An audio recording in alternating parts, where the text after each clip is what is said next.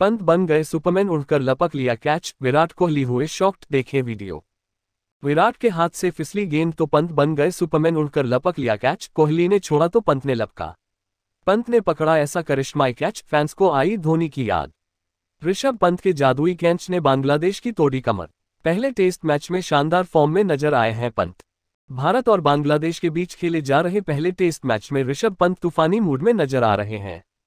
पहली पारी में बल्लेबाजी करते हुए पंत ने टी बीस अंदाज दिखाया था। महज 45 गेंदों पर 46 रनों की अपनी पारी में पंत ने छह चौके और दो तूफानी छक्के जड़े थे।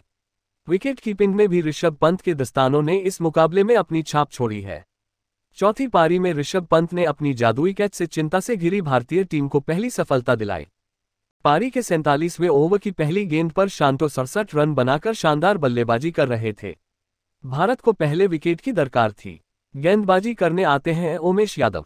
वह शांतो को फंसा लेते हैं और गेंद उनके बल्ले का बाहरी किनारा लेकर स्लिप में खड़े कोहली की तरफ़ जाने लगती है। कोहली के हाथों से वह कैच छूट जाता है और भारतीय टीम का विकेट लेने का मौका भी दूर जाने लगता है। उसी वक्त ऋषभ पंत सुपरमैन की तरह बीच में आकर उसने गेंद को लपक लेते हैं। कोहली की गलती पर पंत ने पर्दा डाल दिया था। पंत ने पलक झपकते ही गेंद को अपने दस्तानों में थामकर बल्लेबाज के होश उड़ा दिए। पंत के इस अद्भुत कैच का वीडियो लोगों को बहुत अधिक पसंद आ रहा है। पंत ने 124 रनों की ओपनिंग पार्टनरशिप तोड़ी थी। शांतो सात चौकों की बदौलत सड़सठ रन बनाकर पवेलियन लौट जाते हैं।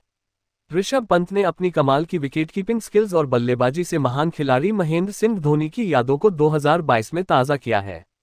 इस शानदार कैच के अलावा ऋषभ पंत ने पहली पारी में भी कमाल की विकेटकीपिंग की है।